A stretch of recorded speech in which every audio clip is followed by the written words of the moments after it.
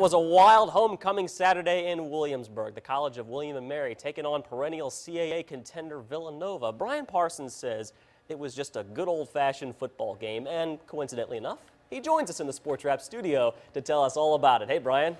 Hey, Nathan, it was an awesome football game, and it had a little bit of everything. The Tribe ranked as high as 15th in the FCS National Poll, hoping for a rebound game today after losing last week to a top five New Hampshire team. Today's opponent, just as difficult. Villanova ranked as high as fourth in the country. Big homecoming crowd at Zable Stadium, and they witnessed a shootout.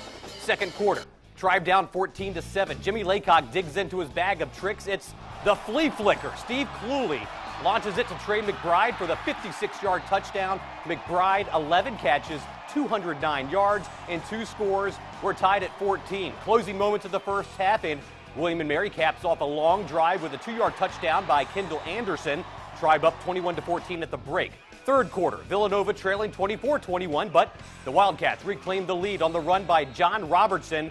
William and Mary going to answer right back. Cluely rolls out of the pocket, fires it the other way to freshman tight end Andrew Kaskin, who hangs on to it. William and Mary up 31 to 28.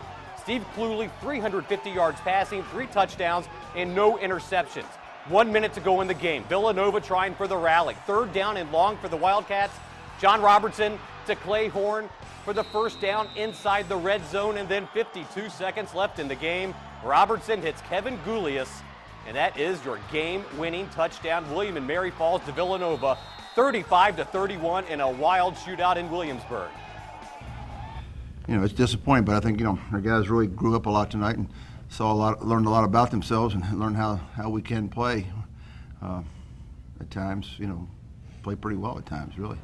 And um, you know, so, but I'm disappointed for the players. You know, we thought we had a, had a shot, and the way we were playing, you know, we hurt ourselves early with some first half with a couple turnovers and things here and there. It wasn't a clean game by any stretch of imagination, but we sure we made a lot of plays. So, but anyway, not enough. Not enough.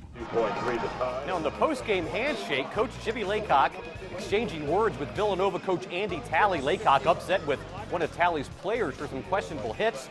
Laycock refused comment when asked about what went on there.